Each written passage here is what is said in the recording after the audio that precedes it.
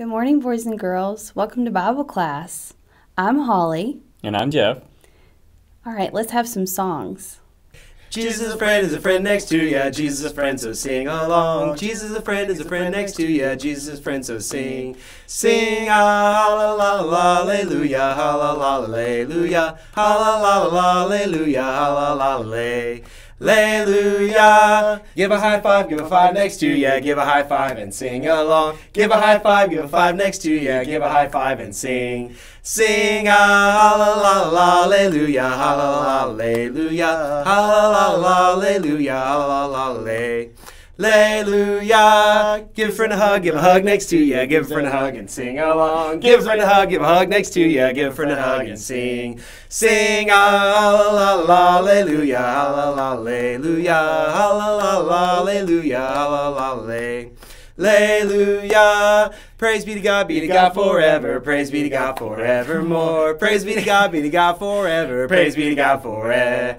Ever, hallelujah, hallelujah, hallelujah, hallelujah, hallelujah. I've got peace like a river, I've got peace like a river, I've got peace like a river in my soul, not my shoe. I got peace like a river, I got peace like a river, I got peace like a river in my soul, not my shoe. I got love like the ocean, I got love like the ocean, I got love like the ocean in my soul, not my shoe. I got love like the ocean, I got love like the ocean, I got love like an ocean in my soul, not my shoe. I've got joy like a fountain. I got joy like a fountain. I got joy like a fountain in my soul, not my shoe. I got joy like a fountain. I got joy like a fountain. I got joy like a fountain in my soul, not my shoe. I got peace like a river. I got love like the ocean. I got joy like a fountain in my soul, not my shoe. I got peace like a river. I've got love like an ocean. I got joy like a fountain in my soul not my shoe. Hope you enjoyed the singing. Now let's hear a Bible verse from Rhett. I will be reading Hebrews chapter 11, verses 23 through 27. By faith, Moses' parents hid him from for three months after he was born, because they saw he was no ordinary child, and they were not afraid of the king's edict. But by faith, Moses, when he had grown up, refused to be known as the son of Pharaoh's daughter. He chose to be mistreated, uh, mistreated along with the people of God, rather than to enjoy the fleeting pleasures of sin. He regarded disgrace for the sake of Christ as of greater value than the treasures of Egypt, because he was looking ahead to his reward. By faith he left Egypt, not fearing the king's anger. He preserved he preserved because he saw him who is invisible. All right. Thank you, Rhett, for that Bible reading. Today we're going to hear a story about Moses. Moses was one of the great leaders of the Israelite nation. God chose Moses because of his caring qualities and because it says in the Bible that he was special. Today we're going to learn about what happened to Moses when he was young and what caused God or how God picked him uh, at this time.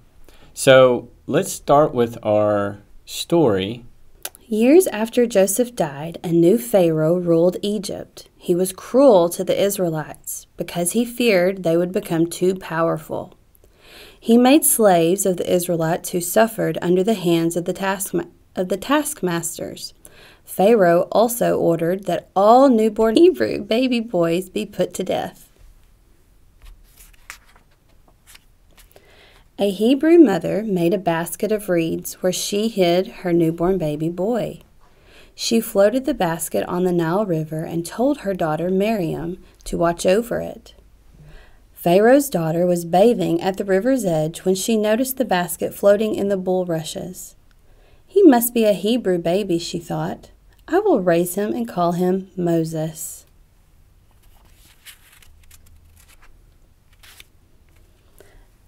Time passed, and Moses saw how painfully the Hebrews lived under Pharaoh.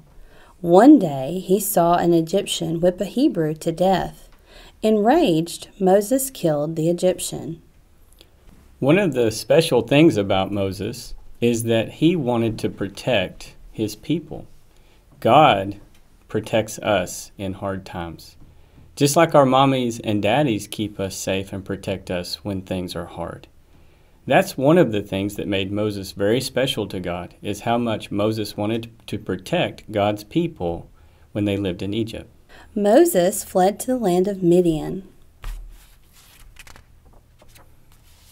in Midian, Moses rested by a well. Suddenly, seven daughters of a priest came to the well to, dwell, to draw water for their sheep and goats. Soon, shepherds came to drive them away, but Moses rescued them. The daughters brought Moses home to help them tend their flocks. This is another example of how Moses wanted to help people who were in trouble. Just like in Egypt, when he was trying to protect God's people, in this moment he saw people that were being treated unjustly and he decided to help them as well. And so we see that Moses has a heart where he wants to help people. God is very pleased when he sees a heart of a servant that wants to help people. I'm sure you've been to places with your mom and daddy and seen them help other people, and that makes God very happy. We should always want to try to help people when we can. One day, Moses came upon a flaming bush, but he noticed that despite the flames, the bush wasn't really burning. Suddenly, Moses heard the voice of God Moses, Moses. Here I am, he answered. I now I know how cruelly my people are suffering in Egypt. I shall deliver them and bring them to a rich and fertile land. Go to the king of Egypt and rescue the Israelites. We see God choose Moses because of his heart and how he wanted to help others who were oppressed. And God's very pleased when we do that. But God also promised Moses that he would help him at this time when he went to to Pharaoh and to try to save the Israelites from the Egypt nation. God has promised us that when we're faithful and we're obedient and we love other people the way He wants us to, that He'll also help us in those times when things seem kind of hard. Moses did struggle with trying to do this, but we're going to see in future studies where Moses went ahead, did what God wanted, and God blessed him in many, many ways. Hopefully, you see how important Moses is as an example for us, and hopefully, you see that you want to be kind of like Moses too and try to be helpful to people and show God's love. Thank you for being in Bible class today. Let's pray. Dear God, thank you for this day. Thank you for our families. Get, help us have wonderful blessings, and please help us in this time of COVID, and keep all of our churches and schools safe. In Jesus' name, amen.